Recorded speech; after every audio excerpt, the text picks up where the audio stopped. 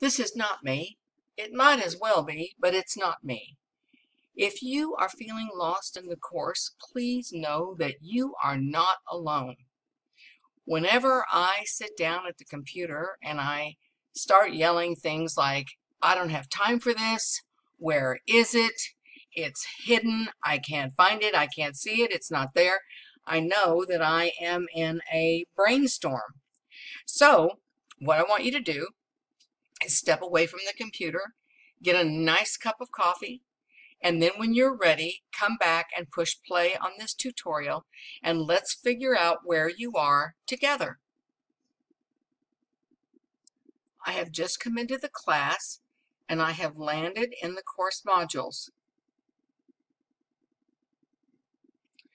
When I look to my far left, I see my dashboard and that helps me see where I am in the course. Let's go to the video tutorial library. I'm trying to remember that video that I saw about that thing that helped me while I was trying to do that assignment. Okay, so what I need to think about is where was I? What assignment was I in? I don't know.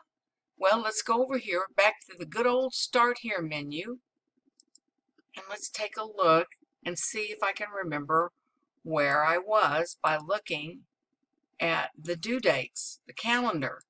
Okay, so this is the calendar of the entire semester. Of course, these calendar dates will change depending on the semester, but here I am, and maybe this will help me see where I am in the course to figure out what it was that I was turning in when I found that tutorial that covered that thing. So if it was this exercise, then I know everything was in week two. Let's go over to week two and figure out where we are there. Okay, so from my menu board or from the modules, remember the modules is where I land. Or I can scroll down my dashboard and get straight over to week two.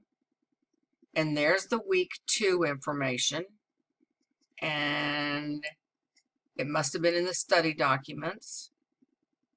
And now I can look there and see if the tutorials that I'm missing were located there, right? So that's one way to figure out where I am by using the good old Start Here menu and the course calendar. The other way is to go to the video tutorial library and scroll down and look for the tutorial that I might have missed. This is the general folder for tutorials about how to do various things in the course. It had to do with a writing tool, how to write something, that would be located here. And I can just scroll down here and I can see where it is in the list and then click here if I want to try to find that tutorial. Then the essay writing tutorials are all here, which is about how to actually write those essays. And then if I wanted to see the process of writing the multiple source essay, I have two examples. Of course, there are several examples in the course, but I have two step-by-step -step instructions located here and here. I wanted to see other examples, I can go there. Do I need the writing center? What is it that I need to do? I've looked through all of this. And if I'm still completely lost and can't figure anything out, then I'm going to go to good old Professor Hall. And that's here, or let's go here. Both places are just fine.